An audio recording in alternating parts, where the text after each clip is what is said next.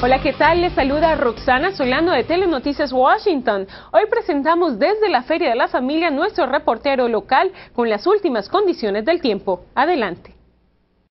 Saludos a nuestros amigos de Telemundo Washington. Soy John Angulo y hoy desde la Feria de la Familia revisamos las condiciones del tiempo para este y los próximos días. Hoy domingo tenemos un 60% de probabilidad de lluvia, con temperaturas por debajo de lo normal. La temperatura máxima de hoy es de 49 y la mínima de 38 grados. Para el lunes y martes las temperaturas subirán y las máximas estarán en los 60 grados, mientras que las mínimas oscilarán en los 49 grados, con cielos parcialmente soleados. Adelante, Roxana.